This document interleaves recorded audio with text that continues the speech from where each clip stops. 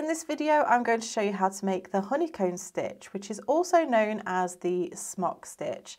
This is a beautiful dense fabric, creates absolutely gorgeous texture. It looks like this from the front, and then if you turn it over, it looks just like the double moss stitch or the double linen stitch. It is absolutely beautiful, brilliant for homeware. I've chosen to use a really chunky yarn, but you could do it in any weight yarn. You're going to need your chosen yarn. As I say, I'm using this chunky yarn. This is Stylecraft in Spearmint. And with this, I am using a 10 millimeter crochet hook. So go ahead and grab what you need and let's get started. So you want to go ahead and start by making your slip knots and you can do this in whichever method you prefer. Go ahead and insert your crochet hook and we're going to begin by making our foundation chain and this is going to be worked in a odd number. So we're going to yarn over and pull through. That's one, yarn over, pull through. That's two, yarn over, pull through. That's three. Go ahead, pause the video, work the length of chain that you desire. I'm going to do 15 for my sample piece and then meet me back once you're ready. And once you have your chain, you want to count how many chains you have to double check. I have 15 and 15 is going to be the number of stitches that we're going to have throughout or the amount of chains that you have at the moment will be the amount of stitches you have throughout. So we're going to go ahead and just add that additional chain for our turning chain to our foundation chain. This turning chain will not count as a stitch and we're going to go ahead and work a double crochet into the second chain from the hook. So remember I'm working in UK terms, in the US this is known as a single crochet. So we're going to ignore the loop that's on the hook, we have our first chain here and then we're going to work into the second chain. So we'll go into that stitch, yarn over, pull through, you'll have two loops on the hook, yarn over, pull through both loops on the hook. So as I say, this is your very first stitch and we won't be including that turning chain as a stitch. So now you're simply going to work your way across this foundation chain with one double crochet in each chain or single crochet if you're using US terms. Go ahead, pause the video, work your way across and then meet me back once you're ready. So this is the end of row one. You want to check your stitches to make sure that you have the same as your initial foundation chain before you did that additional chain one. So I have 15 here. We're now going to go ahead and turn the work for row two and begin with a chain one which does not count as a stitch. We're going to double crochet into the base of that chain one, so that very first stitch, and we're going to double crochet in each stitch all the way along. Remember that is US single crochet if you're using US terms. So we're working one double crochet in each stitch all the way across. Go ahead, pause the video, work your way across to that very last stitch. Don't forget to count your stitches and then meet me back once you're ready. So at the end of row two, we have our two rows of double crochet. We're going to go ahead and turn our work for row three and chain one to begin, which will not count as a double crochet.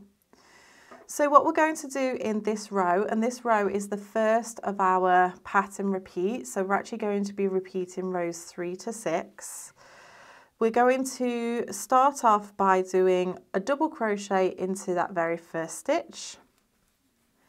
And then we're going to do an extended double crochet into the stitch from two rows down. So this is also known as a spike stitch. So this is our current row. We have the top of the row below and then we this is our second row down, so two rows below. It actually works out for this row to be the foundation chain. So what we're going to do here is we're going to follow that stitch right down to two rows below, insert our hook, and then grab the yarn and pull it through. We want to keep quite loose tension here because we want to pull this stitch up to the height of our row and then yarn over, pull through both of those loops on the hook and we get this extended double crochet, also known as a spike stitch, into this stitch. We're going to skip the stitch that this is worked over, so that is classing as the next stitch, and then we're going to work into that next stitch with a double crochet. And then we're going to repeat that again. So we're going to do an extended double crochet into that stitch two rows below. So just here, yarn over, pull up to the height of your current row, yarn over, pull through two, and there we have our next stitch. We skip over the stitch that this is laying on top of and then work a double crochet into that next stitch. And we're going to repeat that all the way across. So we're going to do an extended double crochet or extended single crochet if you're in the US and then double crochet into the next stitch. So go ahead and work that all the way across, extended double crochet followed by a double crochet. You will end with a double crochet in your last stitch. Pause the video and then meet me back once you're ready. So here we are at the end of our row three and this is what the work is looking like. It's always a good idea to check the amount of stitches that you have to make sure that you still have the same as what you began with. So let's now move on to row four. We're going to go ahead and turn our work, chain one, which again does not count as a stitch. And we're going to start with a double crochet in the first two stitches. So remember that's a US single crochet. So we'll go into that first stitch with a double crochet and then into the next stitch with a double crochet, which should actually be the stitch just above your extended double crochet just here. We're then going to do something which is called a modified double crochet. We're going to pull together the last leg of the current extended double crochet. So these are the two legs of that stitch. We're just going to be working into this last leg here and then the first leg of the next extended double crochet. So this one just here. And we're going to be working a double crochet into those two legs. So we're going to go under this, the last leg of this stitch and the first leg of the next stitch. We're going to yarn over and pull through both of those legs and then yarn over, pull through to finish off our double crochet. And that just brings those stitches together and that creates this look just here of the honeycomb. So we're going to ignore that stitch that is just behind that double crochet that we just made and then we're going to double crochet into that next stitch.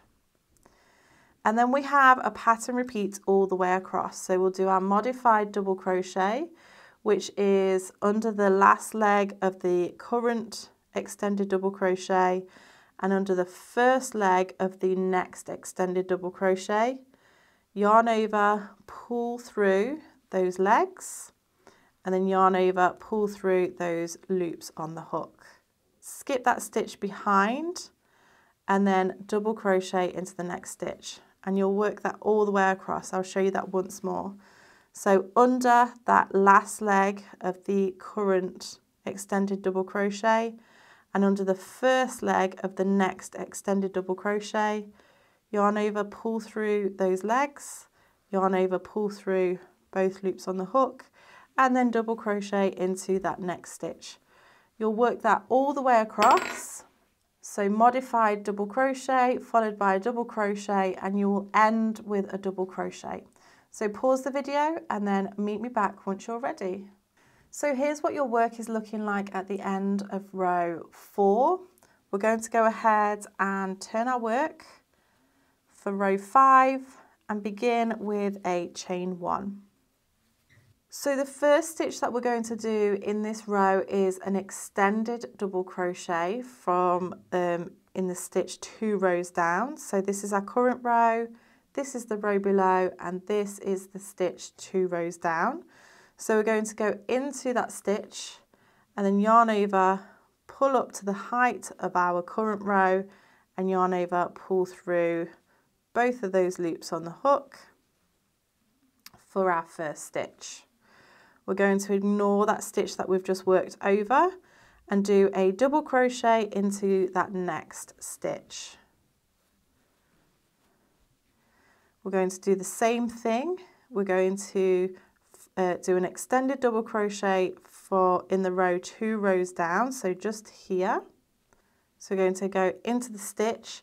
However, what we want to make sure that we're doing is if we turn the work around, we can see this V.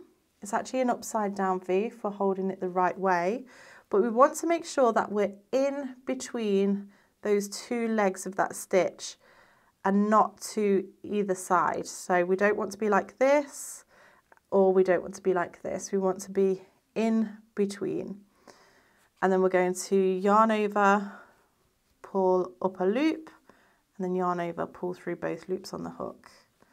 Double crochet into that next stitch, and then again the same, we're going to go into that next stitch. We'll find the stitch two rows down, go into that stitch, make sure we're in between that V at the front of the work, pull up a loop and yarn over, pull through, and you're going to repeat that all the way across. So double crochet and then extended double crochet. Always checking on the right side of the work to make sure you're working into the right spot. So go ahead, pause the video, repeat that all the way across, and you will finish with an extended double crochet into the last stitch. I'll come back and show you that last one in case you are struggling a little, but go ahead, pause the video, then meet me back once you're ready. Okay, so this is what your work is looking like um, before we finish this last stitch. And I'm just going to show you what it looks like on the other side as well. We can see these upside down V's all the way across. And then we have V's here, but they are much closer together because we haven't um, expanded those as of yet. So what we're going to do here is finish this last extended double crochet into this last stitch because this one can feel a little bit strange with it being on the very end but we're going to do exactly the same as what we have done before. I just like to make sure that the um, the row underneath is just sitting nicely. So now we're going to turn our work and do row six which is the final row of the pattern repeat. We're going to chain one which does not count as normal and then we're going to do a double crochet into that very first stitch. We're then going to do a pattern repeat all the way across. So we're going to do that modified double crochet. So finding this very first leg just here and then the first leg of the next uh, extended double crochet, yarn over, pull through those two legs and then yarn over, pull through both of those loops on the hook and then double crochet into that next stitch. And then we're just going to do that all the way across under the last leg of the um, current extended double crochet. First leg of the next extended double crochet pull through both of those and then yarn over pull through two. Double crochet into the next stitch. So you're going to work your way all the way across and you will finish with a double crochet into this very last stitch. So go ahead, pause the video, work your way across and then meet me back once you're ready. Okay, so here is what your work is looking like at the end of row six. And as of this point, you are repeating rows three to six until you re reach your desired height. And this is what it will look like. It is an absolutely beautiful stitch. I do have the written instructions for this linked in the description box below, so click show more and then you'll see that. I've actually discovered that less than half of the people who watch my videos are subscribed to my channel, so if you want to be kept up to date with all of my latest videos, then please click that subscribe button. And if you do like this stitch, then I think you also might like this gorgeous textured stitch just here.